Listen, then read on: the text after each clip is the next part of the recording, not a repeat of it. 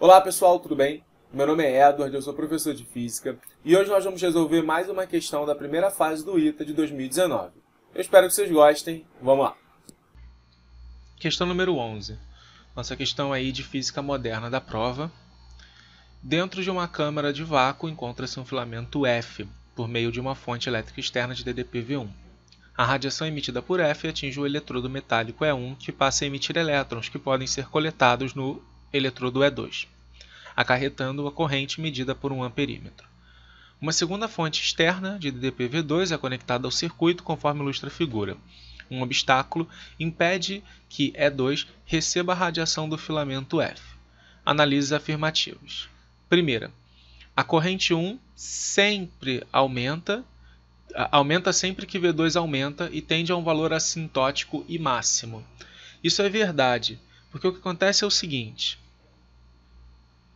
quando você joga os fótons aqui nessa placa, né, o que está acontecendo aqui é o efeito fotoelétrico, pessoal.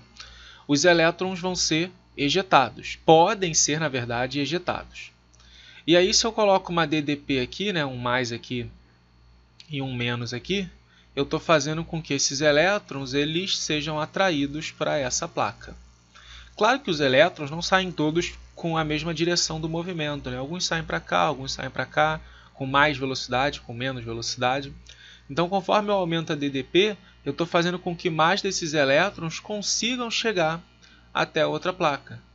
Só que tem um limite, né? Os elétrons que são arrancados. Por isso que a corrente ela cresce, ela vai crescendo até alcançar um limite que seria seria você pegar todos os elétrons que foram ejetados dessa placa. Por isso que a primeira é verdadeira. Segunda afirmativa. Toda radiação que incide pode causar ejeção de elétrons. Essa com certeza é falsa, né? Por quê? Você sabe que os fótons, para que eles sejam capazes de arrancar os elétrons, eles têm que ter uma energia maior, no mínimo, que uma energia mínima, que é a função trabalho desse metal. E aí, se eles possuem mais energia que isso, o que sobra, né, a energia do fóton, ela é gasta como função trabalho e o que sobra é que é de fato usado pelos elétrons na forma de energia cinética, que eu vou chamar de K aqui. Então, por isso que a segunda é falsa. De uma outra maneira, você pode dizer que os fótons né, têm que ter uma frequência F maior que uma frequência mínima que corresponde a essa função trabalho. Terceira, para certo valor de V2 é possível obter uma corrente invertida em relação ao sentido mostrado. Bom, essa questão é uma, é uma certa pegadinha, pessoal, porque você vai pensar, ah, os elétrons vão, então em algum momento eles vão voltar. O problema é que o E2 ele não faz emissão. Então, se o E2 não faz emissão, não tem como haver um, um fluxo de elétrons né, para ter essa corrente elétrica invertida. Por isso que a terceira é falsa.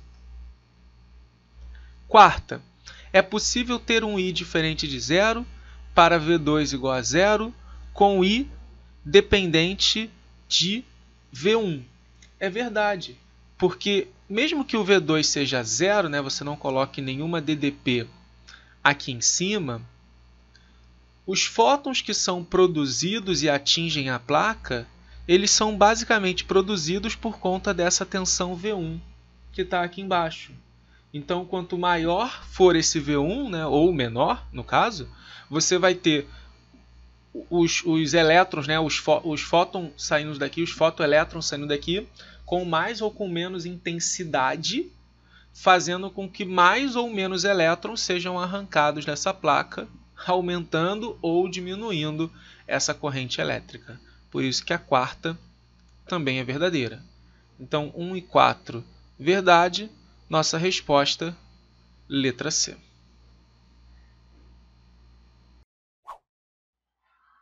Não se esqueça de se inscrever no canal, deixar o seu like se você gostou desse vídeo.